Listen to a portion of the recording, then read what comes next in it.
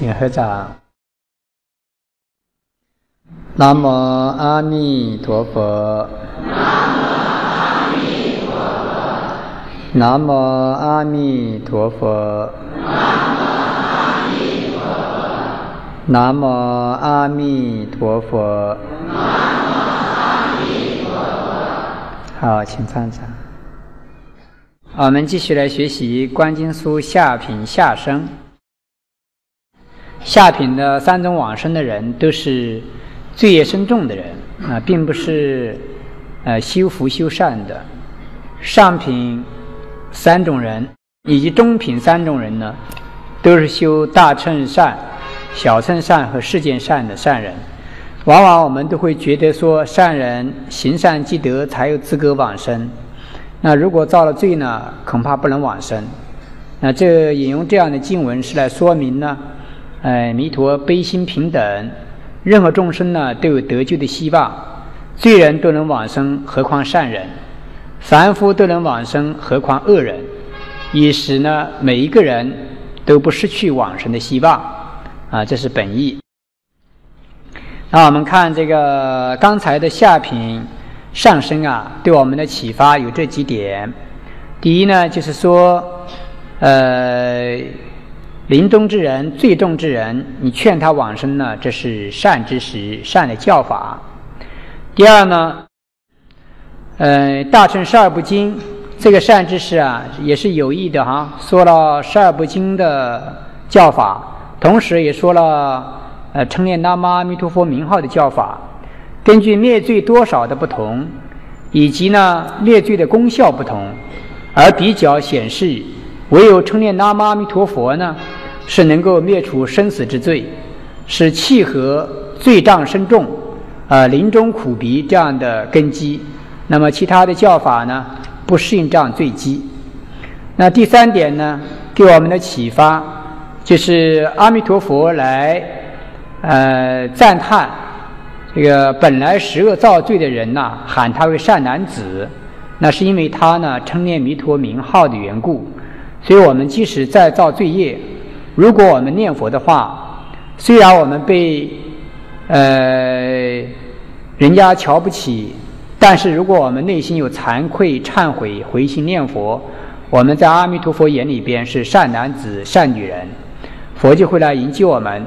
时间一到，就会来到我们的面前，对我们说：“善男子、善女人，我来引汝，诸罪消灭。”所以这个是他能得到的，我们也都能得得到。那么第四点，为什么呃释迦呃阿弥陀佛化身来赞叹，不提文经的事呢？只讲赞叹他念佛呢？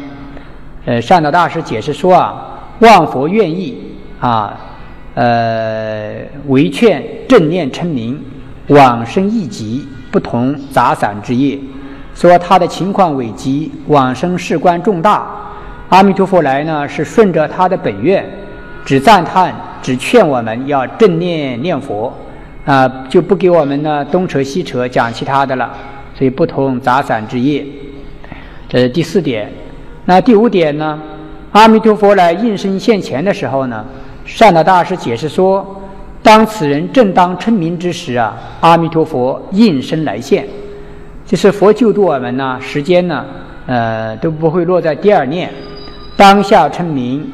感应道交，那么佛呢？当时现在我我们的面前。呃，第六点呢，根据这些的教法，我们在帮别人助念，或者说我们临终之时，都以这一句南无阿弥陀佛啊，临终如此，平时也是如此，就是这一句名号呢，贯彻到底，那不要夹杂。虽然各种大乘经典、诸佛菩萨名号都有消罪除障的功能。但是作为功效来讲，弥陀名号最殊胜、最简单、最容易。同时呢，就往生极乐世界来讲，我们具有双重的利益：一方面灭罪，一方面往生。那么心呢，就专注、纯一，不夹杂，跟我们命中要去的方向一致，所以不必呢夹杂其他的。即使求世间福报、求种种利益，也都以一句南无阿弥陀佛。所以这是这下品呃上升这一段呢，给我们的种种启示。那么下品终身呢，是指这个人呢，地狱重火一时俱至啊，造作毁犯重戒的罪人，罪业呢更重一等。通过下品上升和下品终身的比较呢，我们知道所谓这句南无阿弥陀佛啊，它灭罪本身并不有没有数量的多少，是说呢一切生死重罪通通消灭。为了显示下品下终身的人。和下品上升两种人呢，罪业各有轻重，而说除灭五十一劫生死之罪，或者说八十一劫生死之罪，啊，其实呢是诸罪消灭。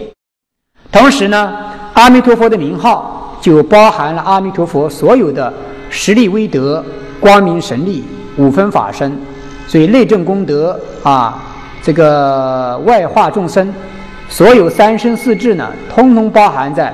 六字名号之内，所以上道大师作为弥陀示现解释这段经文说：“赞说阿弥陀佛呢，即是闻说弥陀名号功德。那么当他起心听到这样的名号功德，信顺不疑；闻而不信，那等于没有闻。就是听到阿弥陀佛，像这个众生啊，地狱的火都烧来了。那么现在人家跟他讲那阿弥陀佛，遇到善知识。”当下信顺，那在这一念之间，也就是所谓的归命，南无者即是归命。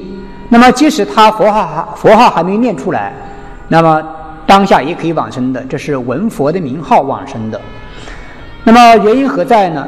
因为啊，我们一念的兴起的话，当下呢，弥陀名号功德归我们所有。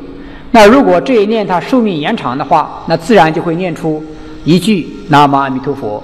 或者十句南无阿弥陀佛，如果大命不忠呢，就会念念相续。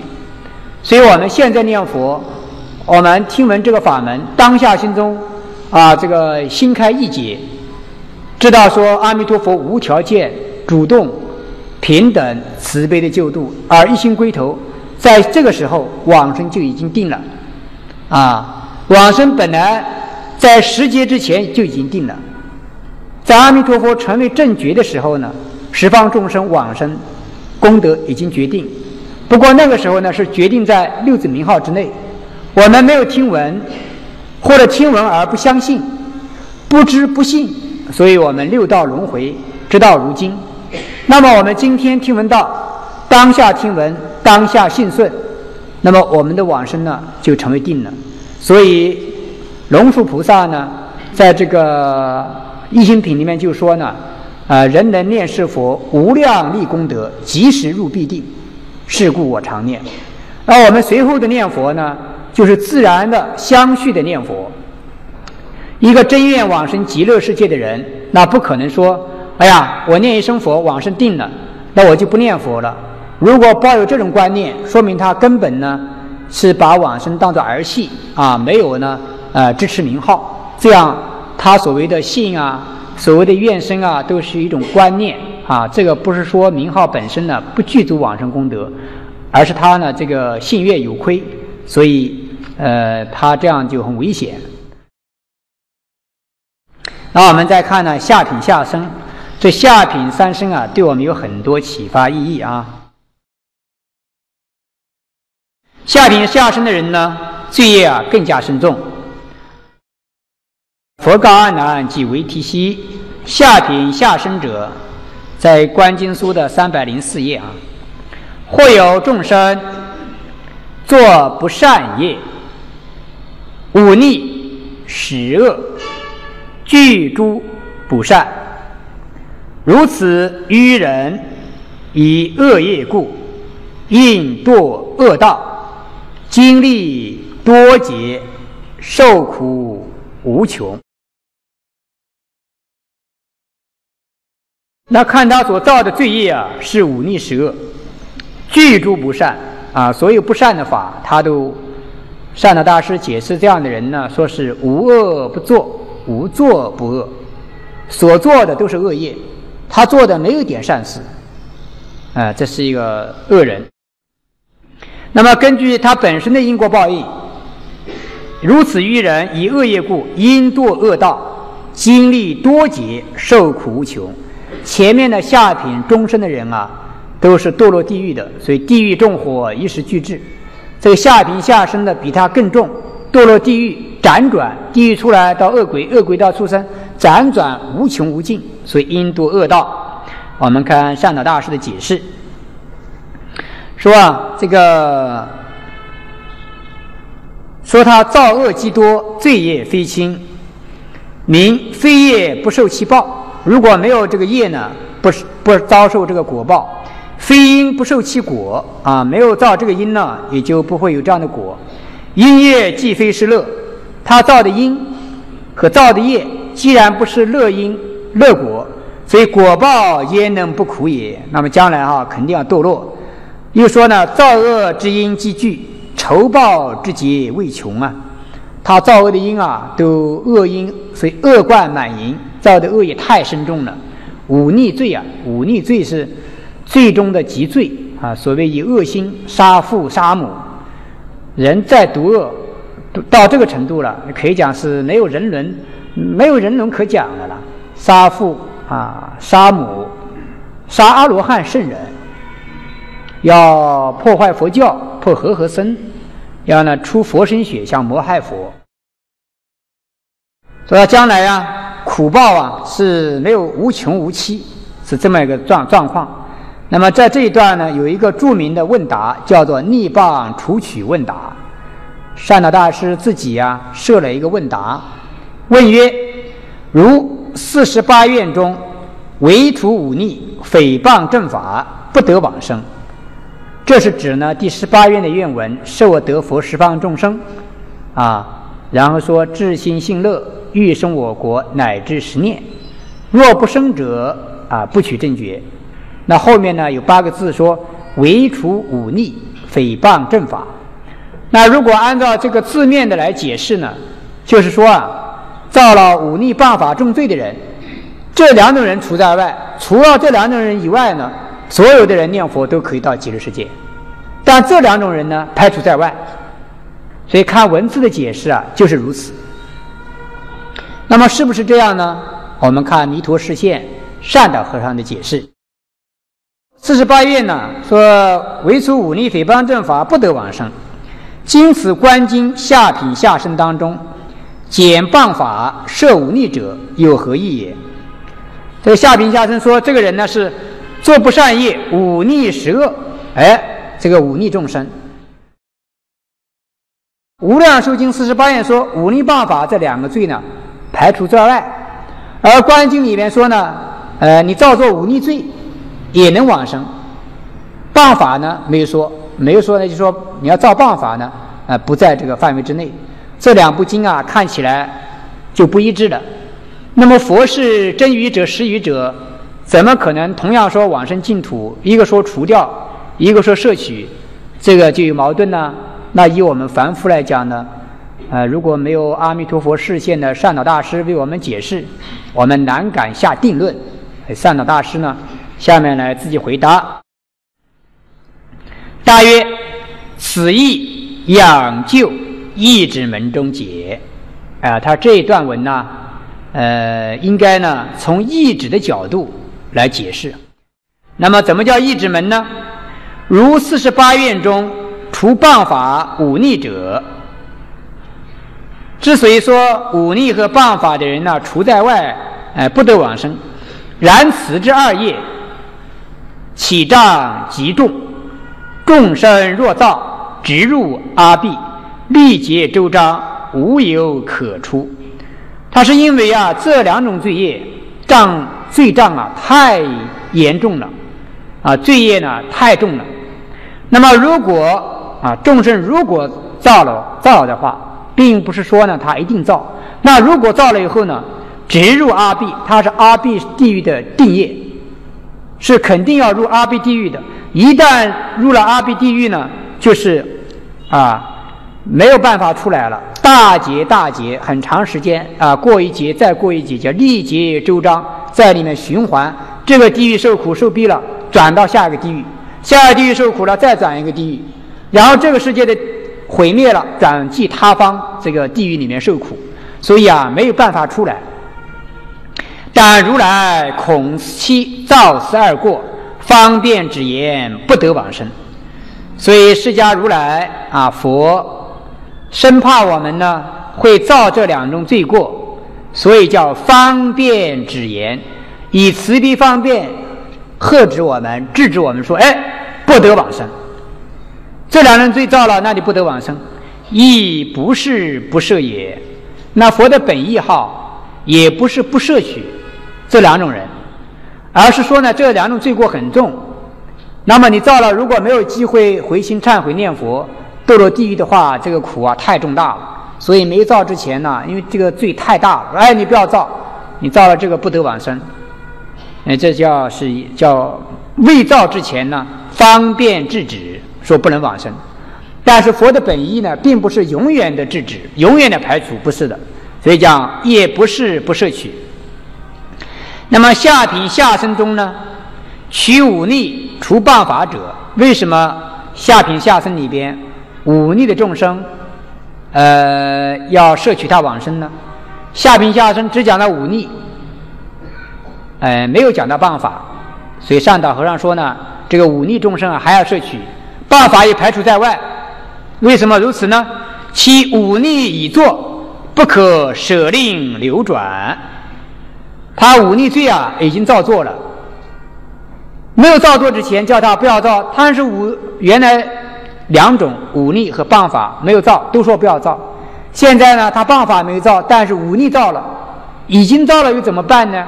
所以其忤逆已作，不可舍令流转。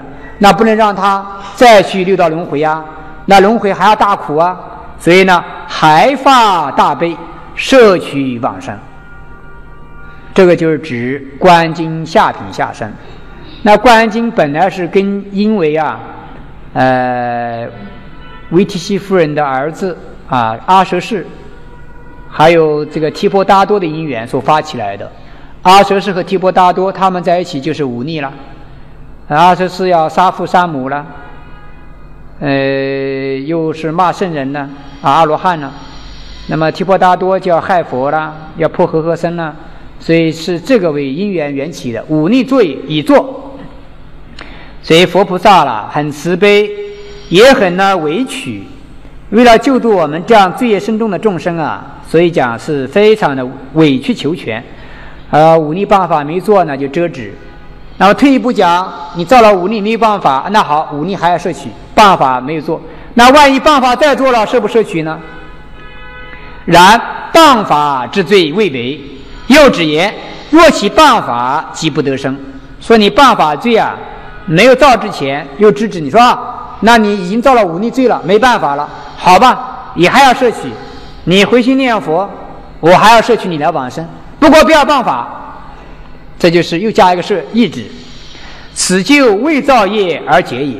这个是啊，就他还没有造作谤法业而这样说的。若造还是得生。那如果他又谤法了以后呢？佛又要往后退了。哎呀，那已经谤法怎么办？哎呀，你回心念佛吧。所以上道和尚讲过，谤法禅提，回心皆往。即使造作忤逆谤法的。你回心念佛，还要摄取往生，所以佛的慈悲简直是无法形容。你说哪种人不能往生呢？啊，只要你回心念佛，没有不往生的。忤逆罪啊，是世间最世间出世间最重的罪了。你杀父杀母，没有比这个罪更重过的啊，更更重的罪。那谤法罪是佛法里边最重的罪了。出佛这个破佛的法身。那忤逆罪呢？是要啊啊杀父母、害父母的色身，这个都是最重要的、罪大恶极的罪。等于是说，这个儿子要杀父杀母，父母亲还要救他，但是又不能明着这样讲，因为这个儿子很愚痴、疯狂颠倒。那么呢，父母呢不能跟他说呀：“你就是杀父杀母，我也要救你，我也要爱护你。”不能讲，只能说呀：“只要你不杀父杀母。”我就好好的要给你治病，呃，要如何的啊？要爱护你，照顾你。万一你拿刀来杀父杀母啊，父母亲还要救你。你看，只要你回心转意，像这个谤佛谤法，无疑是拿刀来刺佛。即使这样的众生，佛都要救度。所以这佛的慈悲呢，没有边线，任何众生只要你回头，就怕你不回头啊。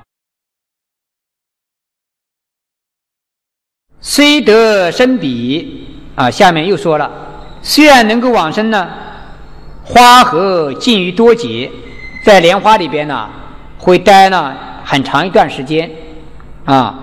此等罪人，在莲花内有三种障碍：一者不得见佛及诸圣众；二者呢不得听闻正法，不能见佛和这个圣众菩萨，当然也就不能听闻正法。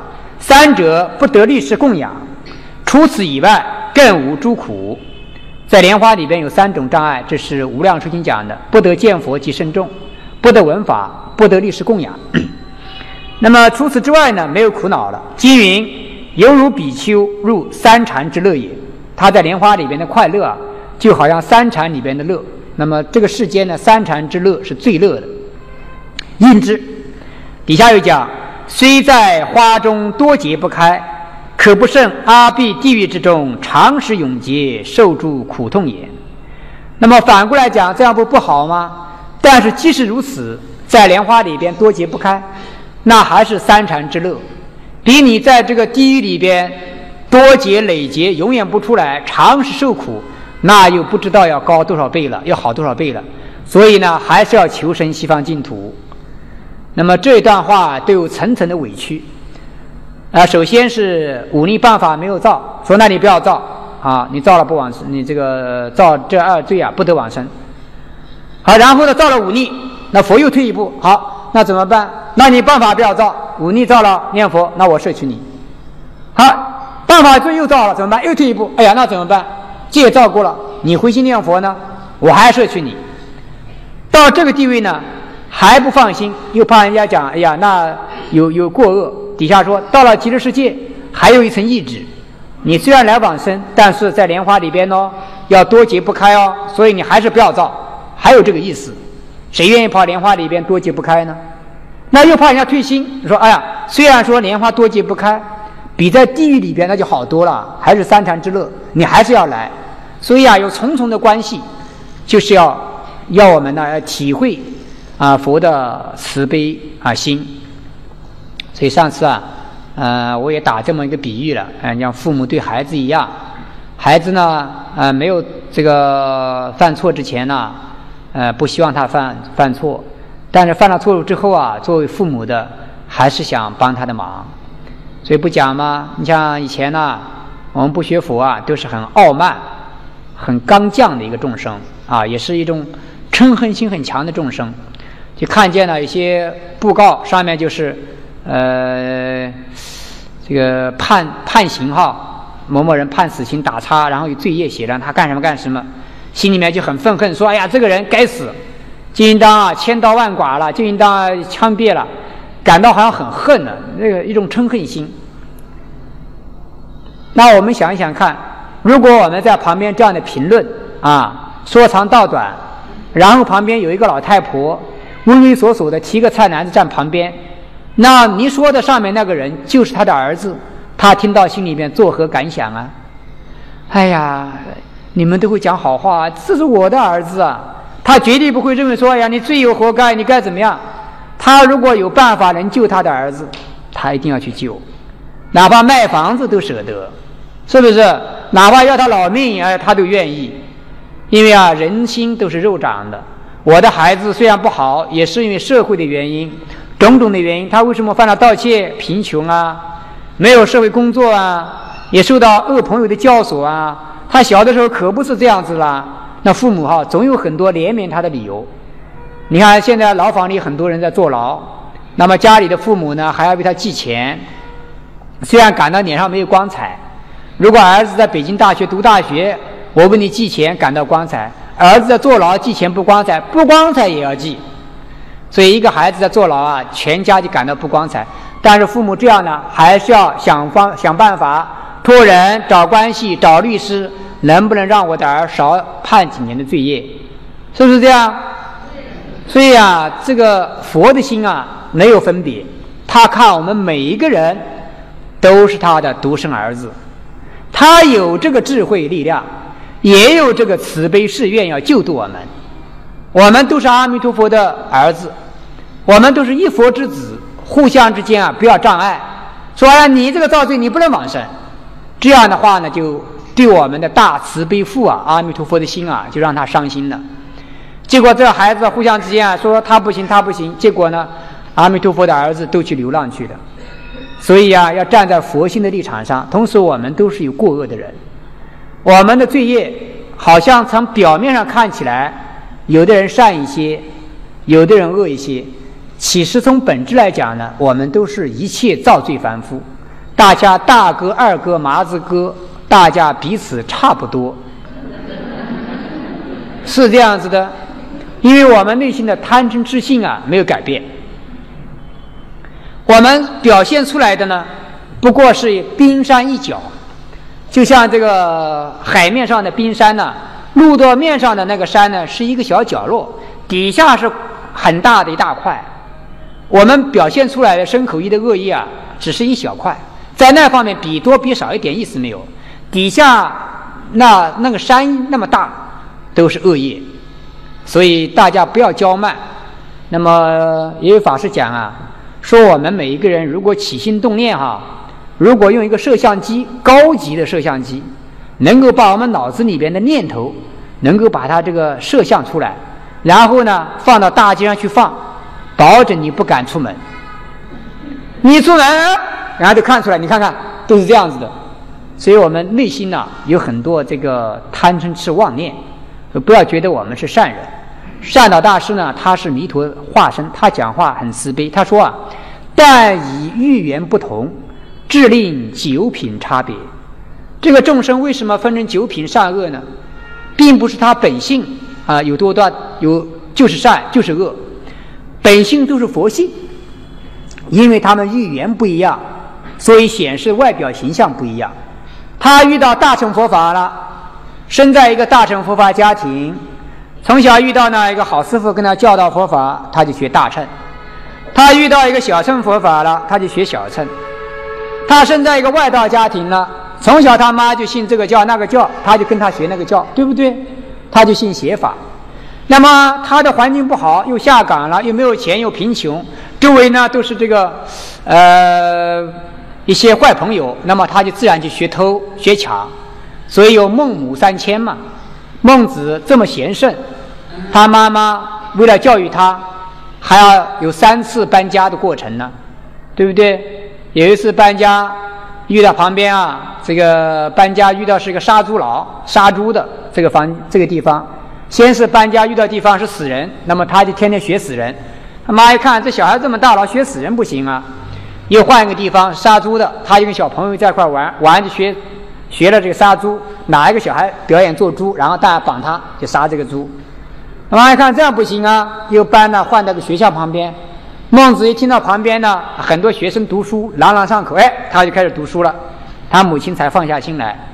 所以善老大师才说啊，但以语言不同，致令九品差别。我们呢都不要觉得骄傲，我们比那个畜生也不好。前世我们就是畜生。今世站过来，好像这个水桶啊，在水井里打水一样，七上八下。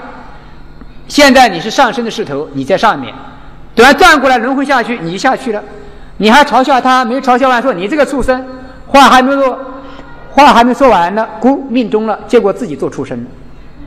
所以人死为羊，羊死为人，人吃羊，羊吃人，就是如此。所以并不好多少。如果不出六道轮回的话呀。都不行啊，这个都差不多。所以我们内心呢，要了解凡夫众生啊，确实有无量无边的无奈。总之是无明啊，烦恼，烦恼逼迫身心，无明呢障碍了我们，这个没有政治正见。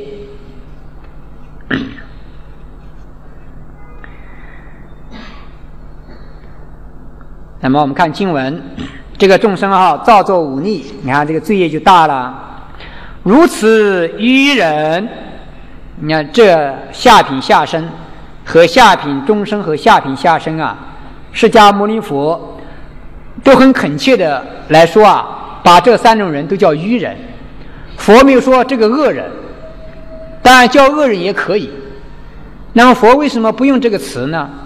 以我们凡夫的语言来讲啊，讲恶人好像在呃褒扬善人，贬低恶人，心中有一种呢愤恨的情绪一样。如果讲愚人呢，就有怜悯的情绪啊，他是因为愚痴才造恶，他愚痴怜悯他愚痴不懂事，不懂道理，从根本上，所以佛经里面用词啊都是很考究的，说如此愚人。临命终时遇善之时，所以我们说这个人有没有善根呢？多少有一点，他比那个临终之时还遇不到善知识叫他念佛的就有善根了。但是这个人跟我们在座各位比，那就我们各位善根比他强多了。大家不造忤逆，大家还修持啊三规五戒，还到讲堂里来闻经听法。啊，供养三宝，善根比他厚得多。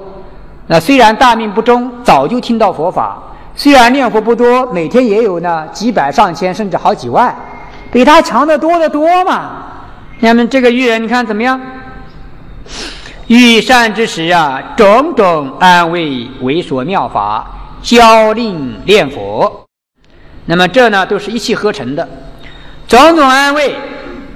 方便来安慰他，让他的心里啊得到安慰和舒畅。也讲过了，他造恶怎么安慰他呢？某某人，你造恶，现在啊苦报现前了。我知道你很痛苦，我们也不愿意你苦恼，不愿意你堕落，但是我们没有力量。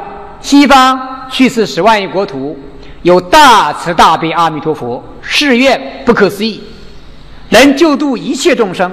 你也是阿弥陀佛怜悯对象。应当呢完全归头，啊，这个心里面就得到安慰了。所以为所安慰，为所妙法安慰，最好的安慰啊，就是用妙法来安慰他。你如果世间的语言不能安慰，我们去看病人呐，啊要用妙法语，要用呢佛法来安慰人。某某人呐，世间人说没关系，你看了就要死了，医生就跟他讲只有三天了。没关系，你这病啊能好起来的。然后呢，让他心里挂碍执着，到这个时候还不跟他讲生死的实相，还不跟他点破，这个就是害他了。现在跟他讲某某人呐，我们希望你啊跟我们在一起啊，你能身体康健起来。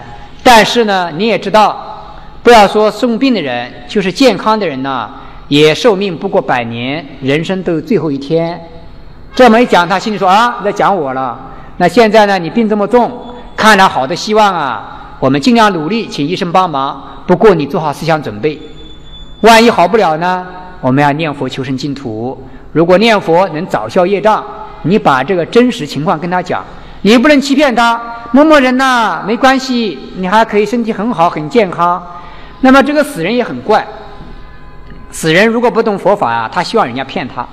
他不希望人家讲人说快死了，他他这个就是世间讲那些没有意义的，过到耳朵好听的话，其实呢是对亡人没有意义的话。我们现在呢应该善巧安慰他，用佛法说。所以呢，为说妙法教令念佛，什么是妙法呢？教他念佛才是妙法。现在叫他打坐，他修不了；叫他诵经，他修不了；啊，叫他修持种种难行。苦行他修不了，那么只能叫他念佛。那么这个人的根基啊，连念佛都念不了了。所以说，鄙人苦逼，不遑念佛。这个人呢，被地狱众火啊，被四大分离死苦所逼迫，心里边呢一片慌乱。善导大师在这里解释不遑念佛呢，是说他。呃，善人安慰，教令念佛；罪人死苦来逼，无由得念佛名。死苦来逼迫他，他心这个念是指心里面的念，第一个念指心念，心中呢无有得念佛名。所以底下善知识啊就懂了，善有告言，一看他这个情况，说：“哎呀，现在心里边心乱如麻。”惶恐、恐怖、懊悔，啊，这个惧怕，这个种种的复杂心情，怎么能够心中意念佛名呢？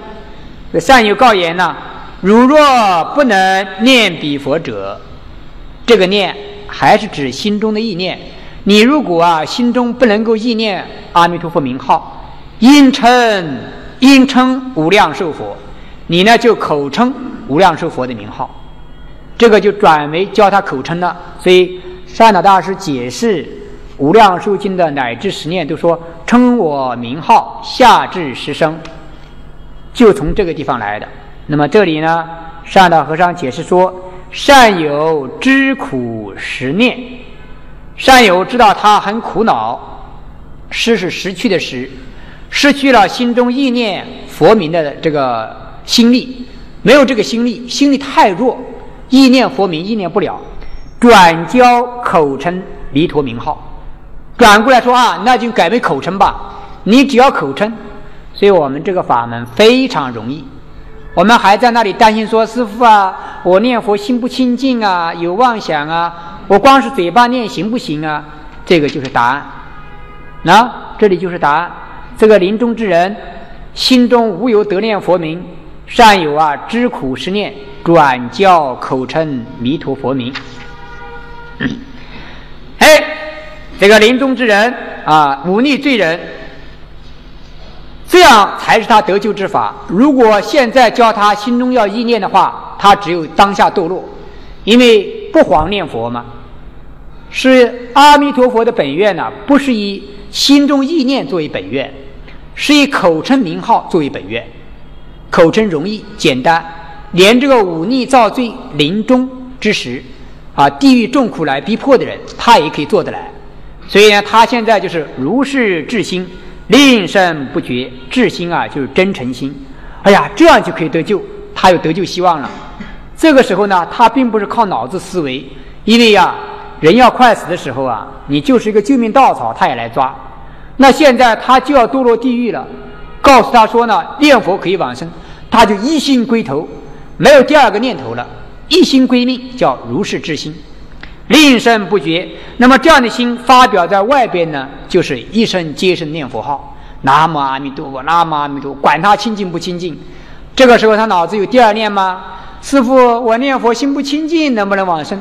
他都没有时间想这个问题，对不对？也不会问这个问题了。听说念佛能往生，脱口而出：“南无阿弥陀佛，南无阿弥陀佛。”心中再乱也不管他。具足十念，十念就指十声，称南无阿弥陀佛。你看，一个造作忤逆重罪、因堕地狱受苦无穷的人，临终遇到善知识。教他念佛，心中都无有得念佛名这么一个人，一片惶恐，不遑念佛，混乱，失去意念能力，这个意业啊就没有功能了，失去作用了。但以口称佛的名号，以下就说了，称佛名故，于念念中除八十亿劫生死之罪。每一念每一念佛，每一念佛每一念佛都具足了消灭生死罪。往生安乐国的功能，所以经文说的很清楚：于念念之中除灭生死之罪。不是说哪一念十念加起来才灭生死罪，也不是十念当中的第八念、第九念，或者说第十念才灭生死，才灭生死罪，而是说呢，念念之中除灭八十亿劫生死重罪。这很明显呢，每一念具足，让我们。超越生死、往生极乐的功能，啊，这个时候呢，命中了啊，十念念完，命中了。命中之时，命中了，怎么样状况呢？虽然在这个假的色报之时呢，舍掉了，我们这个呢叫命中，但是呢，神识还是清楚的，所以还能看得到，还能听得到，看什么呢？见金莲花。犹如日轮助其人前，他现在死掉了啊！我们还在旁边给他助念呢。他其实啊，现在已经看见阿弥陀佛了，或者旁边有人还在那里，在那里为他悲叹呢。但是现在呢，他看见金色的大莲花，像一个太阳一样金光闪闪，来到他的面前，就是佛的正觉莲花。啊，用莲花接引我们往生极乐世界。所以临终的时候见佛，见到佛的光明，见到佛的莲花，那么通通往生。其实呢，这个都是一道来的。有的人是只见到佛，啊，不见莲花；有的人见莲花没见佛；有的人见光明没见佛身，或者有人见佛没见菩萨。其实来的时候就有佛就有菩萨，不可能佛单来菩萨不来。那么有佛有菩萨，一定有莲花来迎接，也一定有光明啊！只是我们呢，呃，所见各有多少。如一念起，即得往生极乐世界，啊，当下一念往生到极乐国土。所以这个下品下生呢，也是非常的啊殊胜，非常的。救度啊，很急切。那么，这个释迦牟尼佛讲这个下品三生，尤其是下品下生，用意何在呢？这是一个比较说明法啊，比较什么呢？比较平时显示出啊念佛法门的殊胜和尊贵，比较显示出阿弥陀佛本愿呢，才是救度一切。善恶凡夫的根本法门，比如说这部《观经》讲了十三定观，那么十三定观的人，刚才的下品三生的人，能教他们修持吗？能不能教他？你修日想观、水想观、地想观，根本不可能的。那么十三定观救不了他，他的罪业太深重了，他的时间呢太太短促了。那如果教他修行大乘佛法，他能修得来吗？修不来。教过一次，说十二部经典灭除千劫罪，然而仍然在生死轮回当中。教他修小乘佛法也修不来，所以大乘佛法也不能救他了，小乘佛法也不能救他了。那么，即使是让他修世间的善法，孝养父母啊，他也没时间孝养父母了。杀父杀母，这个逆人，父母都给他杀掉了，怎么孝养父母了？那么这个时候呢，一切善法。都不能救他了。这样一个极重的恶人呢，只有念佛一法才可以得救。所以啊，就像病重的人，你病越重，把你的病治好呢，显示这个药才是最上妙药。那么通过这样的根基越来越激烈，越来越下劣啊，造罪越来越重，而显示呢，所给的法门是越来越殊胜，越来越高妙。所以啊，以念南无阿弥陀佛。是定善十三观和散善三福九品的结论。以这个念佛法门呢，作为释迦牟尼佛这样方便引导，才在这个地方啊把它拖出来。这是呢讲下品三生里边呃讲念佛的含义。同时呢，大家不要注意误解，这里啊有几个比较啊，一个叫做呢举恶摄善，就举这个造恶的众生呢。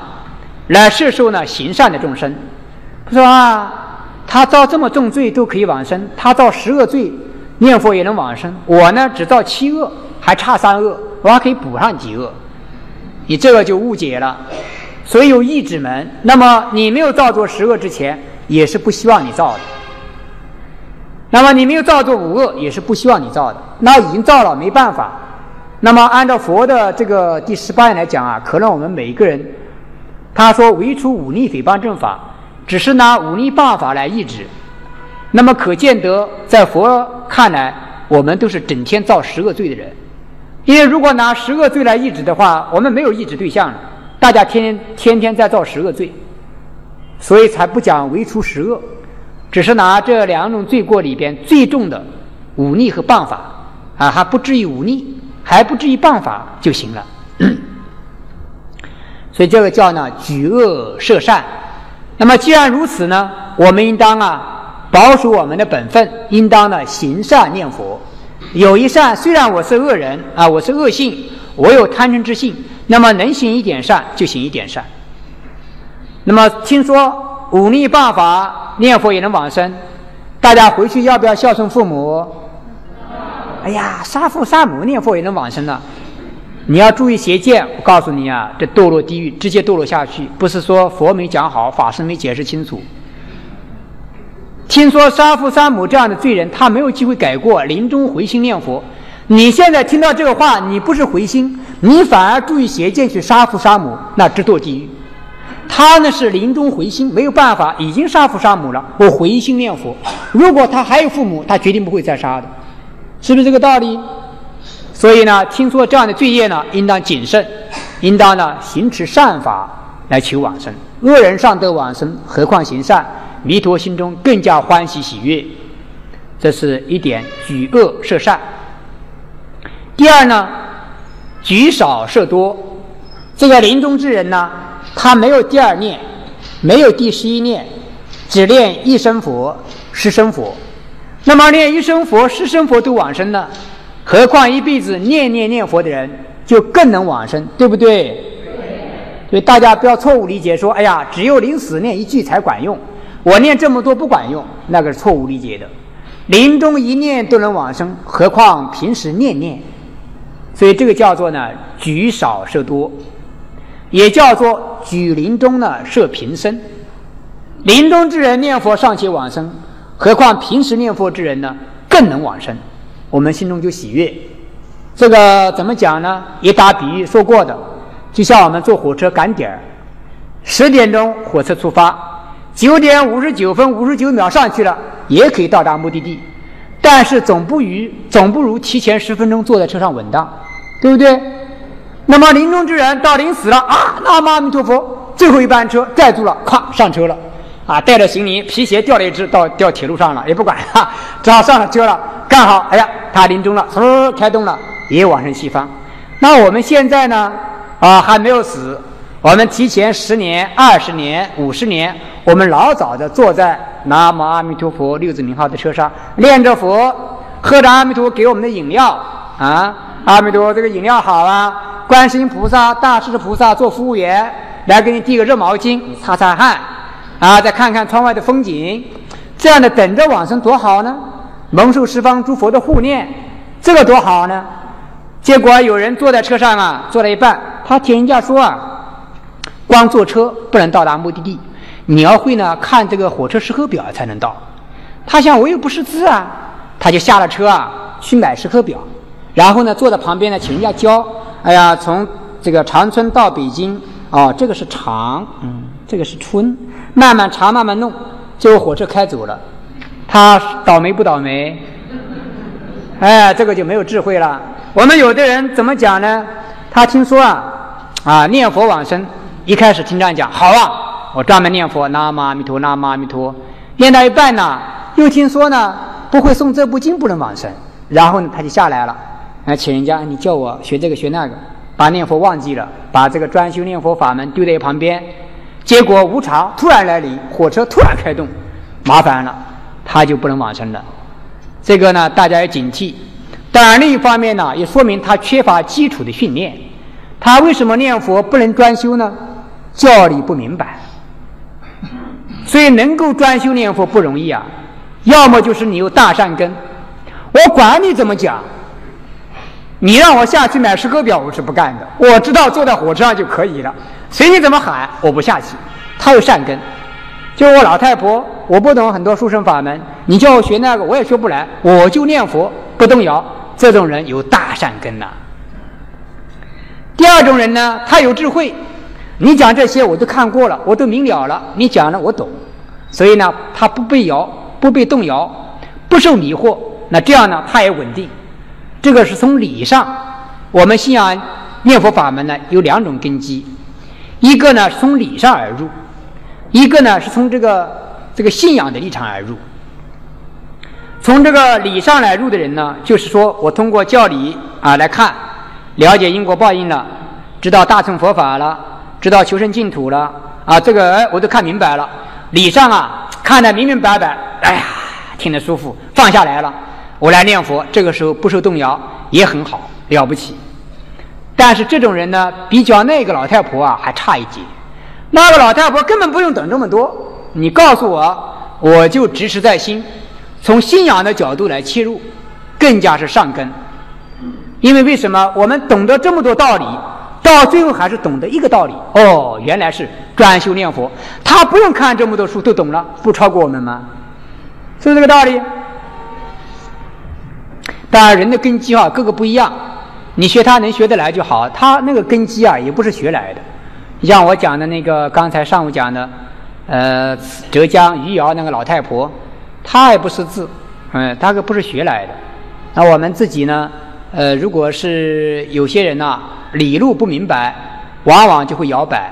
所以上头大家讲啊，不要被别解别行、易学易见的人动摇。那我们就要知道我们本门的规矩，懂得这一门的教理和其他门的关系怎么解释。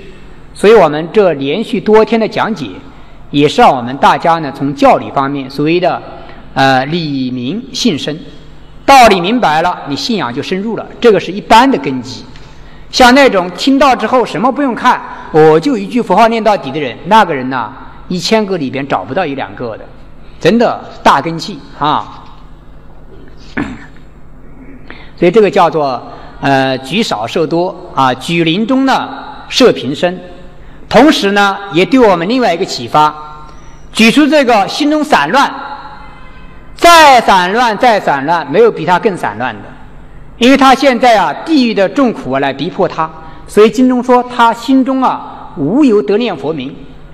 但以口称名号得往生，那么这是显示这句南无阿弥陀佛六字名号的功能，不加我们人为造作，不是靠我们心里边这样想那样想啊就能更往生。所以大家一定要把我们的心啊抛弃掉，舍掉我们这个心，完全归投于南无阿弥陀佛名号。我们念佛就专门念佛，佛才是真心，佛是我们的真心佛性，我们的本体觉悟。我们现在所意念的这个心，清净啊、不净啊、妄念啊、没有妄念啊、善啊、恶啊，这个都是假的，是个虚假的东西。你要想他，就被他骗。所以你看，这个下品下生的人，他心中无有得念佛名，但以口称南无阿弥陀佛，他就往生极乐世界。这个多不可思议！这个就是名号，他南无阿弥陀佛六个字啊，本身就具足这样的功能。你愿往生，管你清净不清净，管你意念不意念，管你心里边怎么想，你只要会口称愿生净土，自然往生西方极乐世界。这个叫自然名号自然运作，所以在无量寿经里边讲呢，自然之所牵，往生安乐国。所以我们讲啊，舍舍什么呢？就舍这个心，大家不要被他骗了。不要呢，抓住他不放。哎呀，你看我心里念念佛，念念念的挺法喜的，挺高兴的。这样念佛应该能往生，被他骗住了。这样的念佛呢，是加了一层色彩，以为说我念佛念的很法喜，念的心里面比较清净，比较呃安，感到呢呃比较清净了，认为这样能往生。如果没有达到这个程度呢，就认为不能往生，这个就错了。这个就是说呢，在这句名号。好像这这块黄金，上面呢用红漆涂了一下，说哎呀，这么红，这么好看，哎呀，这个黄金才值钱。另外一个黄金呢用黑漆涂了一下，哎呀，这个黑乎乎的不值钱，把它丢掉了，可惜不可惜？可惜不可惜？所以啊，不是在看黄金面上的那个颜色，是它本体。这句六字名号呢就是黄金。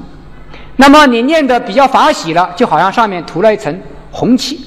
你念的黑乎乎的，好像上面涂了一层黑漆，不管红漆还是黑漆，你念这个南无阿弥陀佛，功德都是一样的，统统往生极乐世界。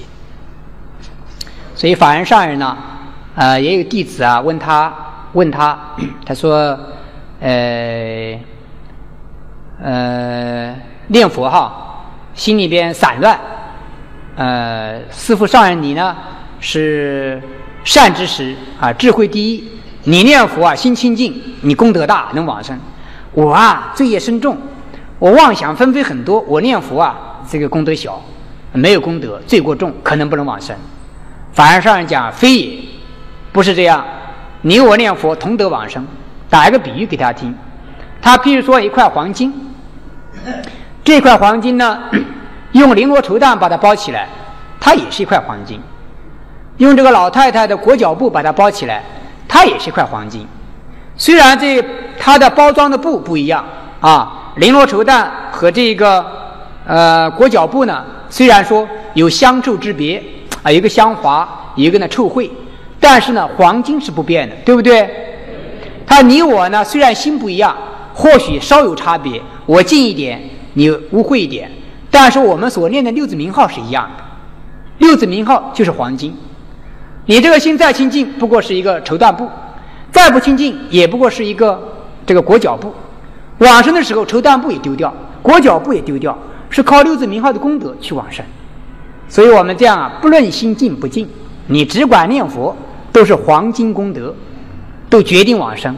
就大家不要边念佛边苦恼说“南无阿弥陀，南无阿弥陀，南无阿弥陀，南”，哎呦，南无阿弥陀，南无阿弥陀，南无阿弥陀，南无阿弥陀，别跑。